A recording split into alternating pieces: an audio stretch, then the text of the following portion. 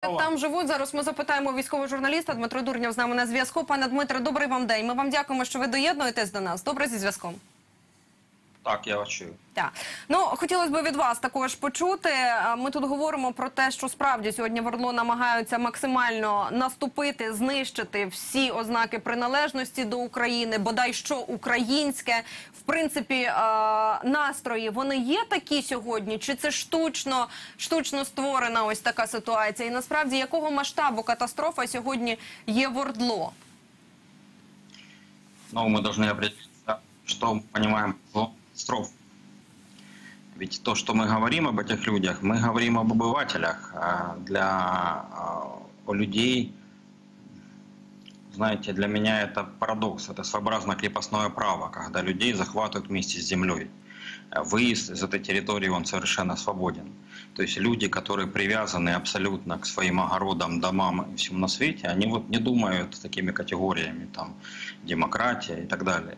Они пытаются выживать каждый день. И их выживание сейчас невозможно без регистрации недвижимости по законам э, ДНР, без э, получения паспорта ДНР, я подчеркну, паспорта ДНР, без него невозможно получить российское гражданство. Российское гражданство получает каждый, кто принял а, там номера ДНР, без них машина не будет ездить, паспорт ДНР, без него ты не можешь заниматься ничем, и в пенсионном фонде, в налоговой. У каждого требуют этот паспорт, пока еще им ну, без паспорта ДНР можно какие-то осуществлять вещи, там, предпринимательская деятельность, но это недолго.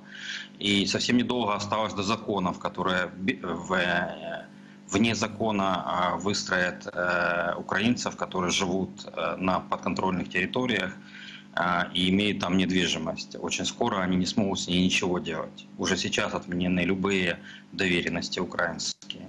То есть, э, чтобы продать свою квартиру, ты должен заехать на ту территорию, оформить на кого-то доверенность, переоформить полностью недвижимость по местным законам.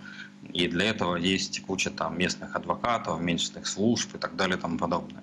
То есть, понимаете, невозможно э, находиться уже на этой территории, не приняв какие-то вот э, ее документы. Это способ выживания, и э, обвинять людей в этом сложно. Эти люди подчиняются, они очень дисциплинированные. Придет украинская власть, они дисциплинированно подчинятся любой власти. Они ждут любую власть, любую государственную власть, что российскую, что украинскую, любую. А Вот в том, чем они живут, всем очень плохо. Это все осознают очень четко.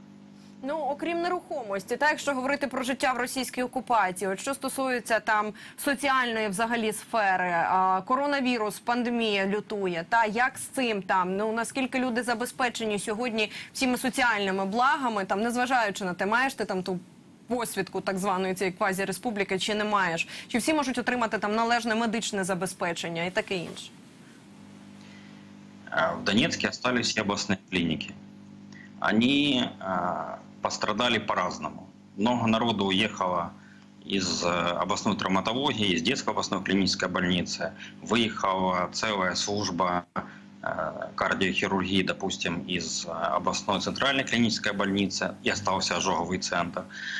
То есть в Донецке что-то работает. Ну, например, вот операцию на сердце с аортокоронарным шунтированием можно сделать в Донецке и очень быстро. То есть работает система реанимации, скорых, там, операционная. Там. Так какие-то службы работают лучше, чем в Краматорске или Мариуполе медицинские.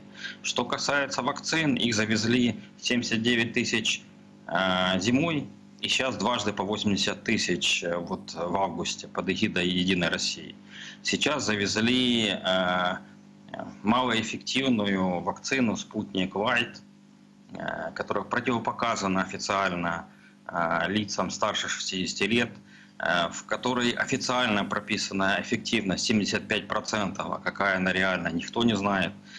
То есть там привиты только военные. Вот полностью все вот эти два э, армейских стрелковых корпуса э, в структуре 8-й гвардейской российской армии, они все привиты. Все остальные вот сейчас только начали прививать там каких-то чиновников и э, руководителей м, подразделений, как у них говорят, ГП, государственных предприятий. Э, э, У людей вакцинации пока нет. А якщо є, то фактично на них ті- тестують цю не дуже ефективну е, с- спутник вакцину, я так розумію, так? Тобто ти Ну, по бажанню можеш вакцинуватися, можеш не, не вакцинуватися. Да, да.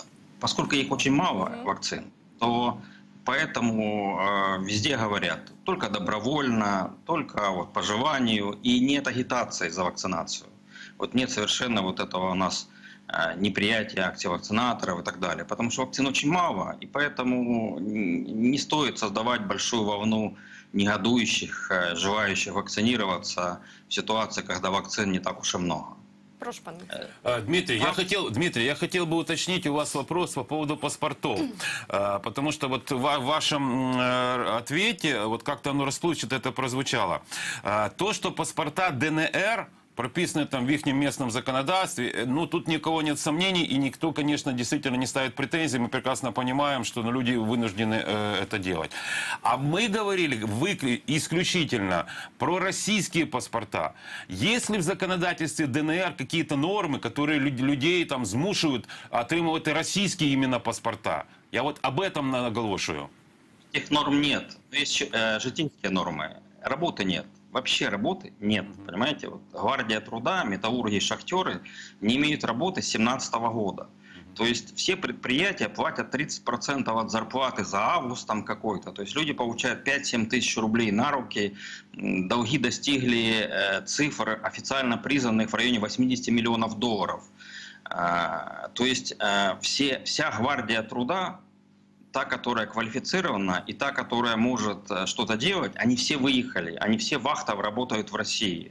В Липецке, на металлургических заводах, на шахтах в Аркуты, где угодно. А семьи сидят на месте. Там целый огромный бизнес, э, обналичивающий украинские карточки и карточки Сбербанка России. То есть получается две карточки, одна у семьи, одна у человека где-то в Аркуте. И вот он получает свою зарплату, и семья обналичивает здесь деньги, а он приезжает там раз в пять месяцев. И э, вот с кем ни поговори, каждый второй это неполные семьи. Там уже огромный такой, э, ну, целые классы детей, у которых нет отцов. Я разговаривал с учителями, они говорят, что ну, невозможно, дети не реагируют на угрозы там, э, пойти к директору, к заучу, э, вот эти беседы. Ну, никто вообще их не воспринимает всерьез. Э, Вот, де- дети войны, дети без отцов, которые там 2-3 года не видели своих отцов. Поэтому российские паспорта – это способ работать в России. Э, Если ты не работаешь на местное государство, вот, не, э, ты не учитель, не врач, не работник администрации, то тебе негде, ты, у тебя нет шансов регулярно получать деньги. Пане Якщо Дмитре, ти не а пін- скажіть, чи а, хвилюються а, жителі території про те, що Україна може прийняти закон про колаборантів? Наскільки оцей фактор є для них м, ну таким лякаючим, скажімо? Для них э, они больше боятся единой системы, э, чтобы украинские пограничники не видели эти российские паспорта. То есть э, у людей, э, молодежь, семьи, они на украинской территории, они где-то в Киеве. И учительница, например, я со всеми, с кем общаюсь, они вот летом я смог выехать в Киев, всех их встретить. Они все едут к детям в Киев. Как бы, и для них очень важно, чтобы э, они упирались, не получали до последнего это российские паспорта, а их заставляют. Мы говорим законодательство. Законодательства нет. Но ты не можешь сантехником устроиться в коммунальное предприятие, если у тебя нет российского паспорта, ты не зарегистрировал СНИЛС и на сайте госуслуг для э, голосования на выборах в Государственную Думу. Тебя не возьмут на работу, тебя вычищают из школы, ты не можешь быть учителем, если ты не, не, не находишься в процессе, если ты не показал бирку, что тебе нужно сдать документы такого-то числа на получение паспорта ДНР или российского паспорта. Если ты не показал, что ты в этом процессе. Так, Если ты не в этом процессе, ты не можешь получать деньги российского бюджета, ты не можешь получать рубли регулярно. Ми вам Может дуже быть, только- дякуємо, що ви доєдналися. На жаль, за браком часу вимушені завершити нашу розмову. Дякую. Дмитро Дурнєв, військовий журналіст, доєднувався